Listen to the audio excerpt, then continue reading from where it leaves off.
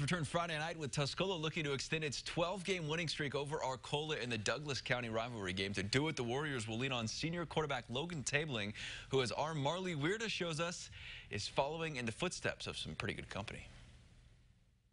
Logan Tabeling can throw a baseball pretty well, but this fall it's a test to see how well he can throw a football. The senior is making his debut as the starting quarterback, following three straight years of all-state QBs for the Warriors. It's it's high standards to go follow that, but I think I'm going to try to go after it. And no doubt he has an arm to do so. The pitcher is committed to play baseball at Wright State, and while his future is out on the diamond, his focus right now is on the gridiron. My tunnel vision right now is football only, and that's that's kind of I, how I want it to be. Or right now, we're trying to go on a state championship, and my main focus is just that. I kind of just want to be the humble guy. It's just like I'm just here to play and be with the guys because it's going to be the last time, last season. So it's a bittersweet moment he shares with Lucas Krazine. The wide receiver is also committed to play baseball at Illinois Springfield.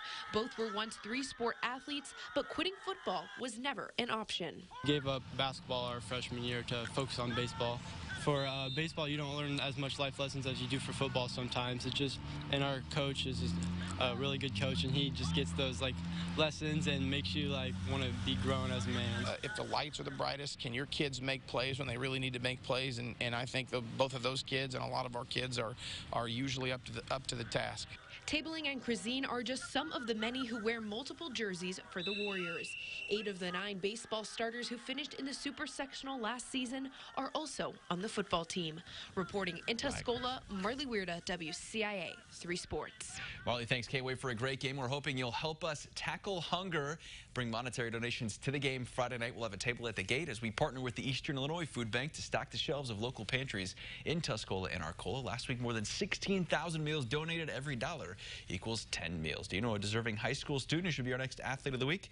Log on to WCIA.com to fill out the short nomination form. We'll announce this week's winner tomorrow. One boy, one girl with each one a $500 scholarship in June. It's only